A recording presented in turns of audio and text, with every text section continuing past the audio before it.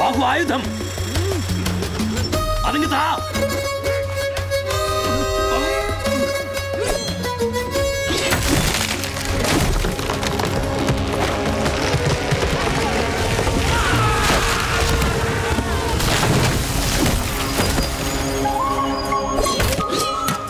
നിന്റെ ശ്രദ്ധ ഇവിടെയല്ല ബാഹു.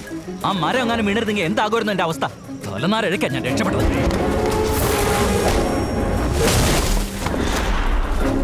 മരിച്ചു പോണതായിരുന്നു അറിയോ? അവൾക്ക് വേണ്ടി എന്തും ചെയ്യണമെന്ന് തോന്നിപ്പോകുന്നു. എന്ന് വെച്ച് കൊലക്ക് കൊടുക്കണോ? അത് എന്നെ തന്നെ കൊലക്ക് കൊടുക്കണോ? എടാ ദ്രോഹി കുഞ്ഞുനാൾ മുതൽ ഞാൻ എന്തെല്ലാം ചെയ്തു തരുന്നതാണ് ഞങ്ങളെ ഒന്നിപ്പിക്കാൻ നിങ്ങൾ ഇനിയും ഒരുപാട് ചെയ്യാനുണ്ട്.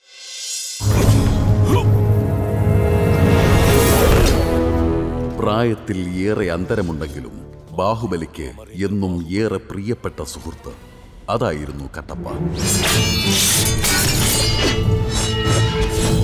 ഒപ്പം കൊണ്ടു നടന്നു വളർത്തിയ മുതിർന്ന ജ്യേഷ്ഠൻ.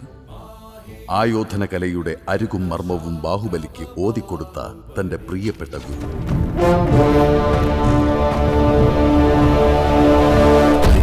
ബന്ധങ്ങളിൽ ഏറ്റവും തീഷ്ണം സൗഹൃദമാണ് എന്ന് ജീവിതം കൊണ്ട് തെളിയിച്ച പ്രിയപ്പെട്ട ചങ്ങാതി. അടിമയാണെങ്കിലും ആത്മാവ് കൊണ്ട് ബാഹുബലിയെ തൊട്ടറിഞ്ഞ ഊഷ്മളമായ അവരുടെ ബന്ധം മറ്റുള്ളവർക്ക് എന്നും ഒരു അത്ഭുതമായിരുന്നു എന്നാൽ സൗഹൃദ മുഹൂർത്തങ്ങളുടെ ആ നന്മ മരങ്ങൾക്ക് ചതിക്കുഴികളൊരുക്കി വിധി കൗശലക്കാരനായി ഒരു വില്ലനെ പോലെ കാത്തിരുന്നത് അവർ അറിയാതെ പോയി.